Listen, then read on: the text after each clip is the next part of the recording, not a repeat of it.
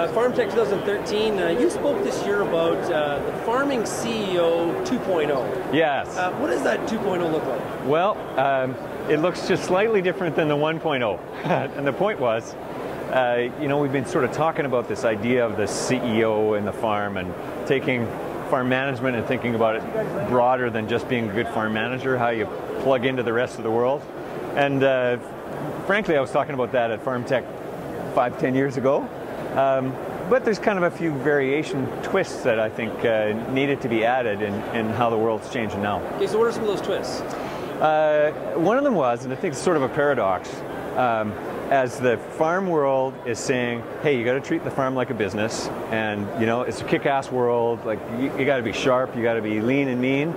I'm watching lots of the rest of the industry, um, and, you know, and other businesses going, you know, we haven't blended enough sort of accommodation for lifestyle back into our business. So I had a little concern that we were almost crossing paths here as farms leave the lifestyle, you know, I gotta love it, gotta find my passion and get kick-ass business.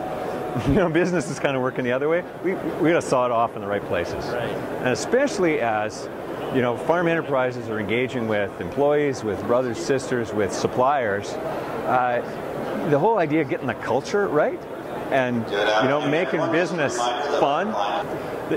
This whole idea that there's a need to uh, for the farm leader to set, set the tone for culture in how you deal with employees, how you deal with suppliers, how you deal with sort of others in this game. Uh, that, that, that's a whole different planet from where we were not very long ago. So do you think farmers struggle with when they get you know, more and more employees on the farm? Do you think they struggle with that, you know, establishing that culture? Absolutely. Because usually, isn't it just about we got to work hard? Yeah, absolutely. The, the, the, rules that we got from the generation before was take on more, work harder, you'll get more rewards. Mm, yeah, no, no. But uh, particularly if you're trying to inspire people to do, you know, an exceptional amount of work under unusual conditions and expect that they're going to share the same passion of, about the industry for the same reasons that you like what crap I mean there's no way that that's going to happen I mean, our, our, our kids aren't going to let that happen right what we do in a workplace has to relate to how it solves our employees life problems not just our problems. And if there's a if there's a big adjustment from thinking like an advanced farm manager to thinking like a CEO it's the idea that the CEO's job is not to just solve the organization's problems, but to use the organization to solve other people's problems and broaden the tent and build value within the industry, build value within employees, build, build value with suppliers, with buyers, and be integral and a preferred supplier, preferred buyer in that network. I'm hearing compassion. Well, is that, is that, a, is that, is we, that the right word or what is it? Uh, every business grows its way into a people business. I don't care you, whether you do it through, whether you're getting more intensive or whether you get larger, how you do it. The, the connections to people become more and more vital about taking your business to, to the next step or seizing the opportunities that might be available to you. And, you know, wildly, uh, guys who entered the farm business 25 years ago, some of them did that to not deal with people at all. So there's a very rude awakening when somebody says the, the, most important thing for the farm CEO is to say, be able to handle difficult conversations with people under difficult circumstances.